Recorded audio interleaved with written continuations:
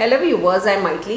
இன்னைக்கு 12th maths ordinary differential equation exercise ten point ஃபைவ்ல ஃபோர்த்தில் செகண்ட் சம் இந்த வீடியோவில் பார்க்கலாம். கொஷின் பாருங்கள் solve the following differential differential equation y dx plus one plus x square tan inverse x dy equal to ஜீரோன்றதை நம்ம prove பண்ணணும். Solve பண்ணணும். இதில் வந்து பார்த்திங்கன்னா டிஒய் டிஎக்ஸ்ன்றது வரக்கூடாது. டிஃப்ரென்ஷியல் ஈக்குவேஷன் பொறுத்த வரைக்கும். ஸோ டிஒய் டிஎக்ஸ் வரக்கூடாதுன்னா நம்ம வந்து இதை இன்டெகிரேட் பண்ணால் தான் டிஒய் அண்ட் டிஎக்ஸ் போகும். சரி இது என்ன பண்ணலாம் அப்படின்னு பார்த்தீங்கன்னா ஒரு டேர்ம் வந்து இந்த சைடு அந்த சைடு மாற்றி எழுதலாம் சொன்னேன். இந்த டிஎக்ஸ் அந்த சைடு எடுத்துகிட்டு போகிறேன்னு வச்சுக்கோங்களேன். One plus x square tan inverse x dy is equal to minus y dx so y எல்லாம் ஒரு சைடு எக்ஸ் எல்லாம் ஒரு சைடு இல்லையா? அப்போ ஒய் நான் வந்து ஒய் சைடில் கொண்டு வந்தேன் ஏன்னா எக்ஸோ டிஒயும் டிஎக்ஸும் மேலே தான் இருக்கும் நியூமரேட்டில் தான் இருக்கணும். அப்போ இது கீழே கொண்டு வந்தேன்னா இது பையில் வந்துடும் so d y by minus ஒய்னு வருதுன்னு வச்சுக்கோங்க. ஈக்குவல் டு இங்கே dx by one plus x square tan inverse எக்ஸ்னு வரும்.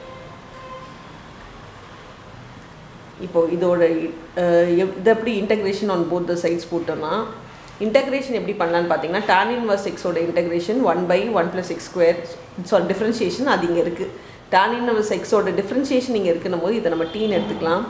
Let t equal to tan inverse x அப்போ டிடி பார்த்திங்கன்னா one by one plus x square into dx ஆகிடும் so நம்ம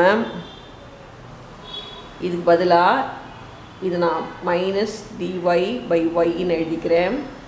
இங்கே dx dx one by one plus x square இது பதிலாக டோட்டலாக இதுக்கு பதிலாக நம்ம வந்து டிடின்னு எழுதிக்கலாம். நியூமரேட்டரில் டிடி பை கீழே பார்த்தீங்கன்னா இதுக்கு பதிலாக நம்ம டிடி எழுதிட்டோம் வெறும் டேன் இன்வர்ஸ் எக்ஸ் தான் இருக்குது அப்போ டி ஸோ இப்போ நம்ம லாக் மாற்றிக்கலாம் இன்டெகிரேட் பண்ணிக்கலாம். அதாவது லாக் தான் வரும். ஏன்னா பை பவர் ஒன் இருந்துச்சுனாலே லாக் தான். So minus log y is equal to log dean ஆகிடும் ப்ளஸ் சி போடும்போது ரெண்டுமே லாகாக இருந்துச்சுன்னா எல்லாமே லாகாக இருந்துச்சுன்னா இங்கே லாக் சி தான் எழுதணும் நீங்கள்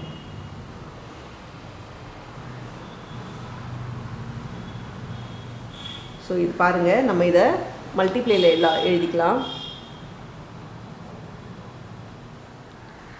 Log y is equal to minus log y is equal to log tc ஆகிடும் டீன்றது என்னது?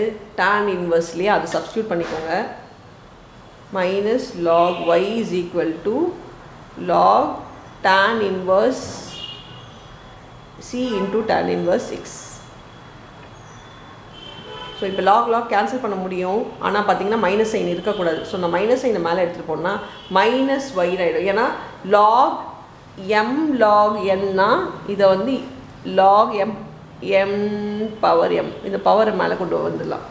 அந்த மாதிரி இது மைனஸ் ஒன்னை மேலே கொண்டு போனால் இது மைனஸ் ஒயின் ஆகிடும் அதாவது லாக் ஒன் பை ஒய்னு வரும்.